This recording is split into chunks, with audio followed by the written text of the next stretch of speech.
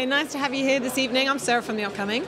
Um, tell us how it feels to be here tonight for the premiere of this amazing new film. Well, it feels absolutely spectacular to be here. I'm so excited about it because I know how funny Billy Eichner is. I know what a great team has made this film and how exciting to see queer storytelling kind of in the mainstream. You know, in, in this way, it's, it's a rom-com that everybody can get on board with. What a lovely, lovely thing. And I think it's, um, it, yeah, I'm, I'm introducing uh, and, um, Luke and, and Billy to the stage tonight. So I'm very much, very much starstruck that I'm going to be meeting them, even for just a moment. Very excited to be seeing them. And does it seem crazy to think that this is actually the first, you know, big studio queer rom-com that's like, you know, hitting mainstream cinemas over the world, you know, UK mean, and US? I can't believe that this is, you know, the first big studio rom-com to be in cinemas. I, I mean, I suppose because as a people, we're known for our storytelling. And so I guess we've been telling our own story to one another for so long.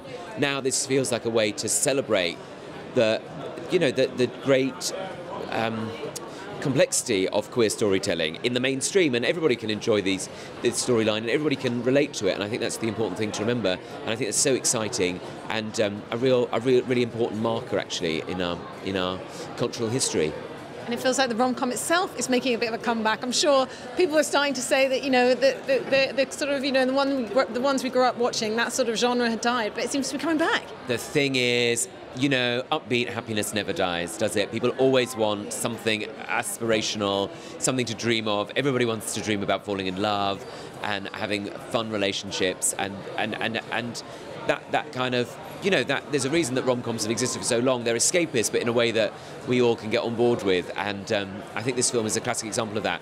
But it's so witty and it's so sharp, and I think the performances are great, and the way it's put together, the story that it's telling.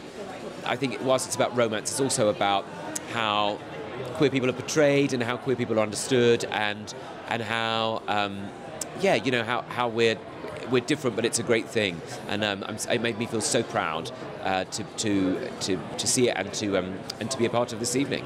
And being a comedian yourself, what, what is so important about having comedy in our lives? I mean, I think for Brits particularly, it's kind of a coping mechanism, um, and, and it's a way of kind of dealing with, you know, the world's not looking great out there at the moment. Maybe we need it more than ever.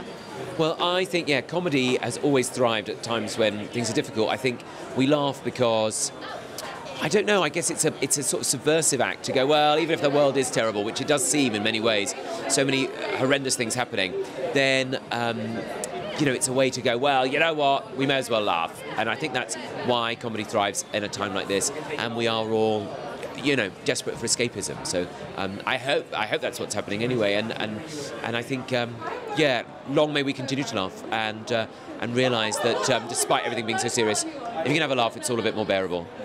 And tell us about stuff you've been working on. I mean, you've done Bake Off, you've written a book.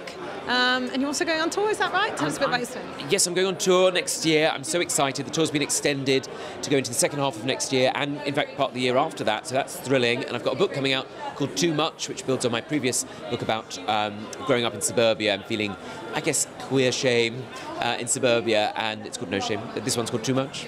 And that comes out on the 10th of November. And, um, and yes, and I'm very much enjoying being part of Bake Off and Extra Slice, which goes out on Friday night. So it's lovely to have lots of fun with Jo Brand and celebrating all the merriment of Bake Off this year. So yeah, it's nice to be busy and nice to be laughing.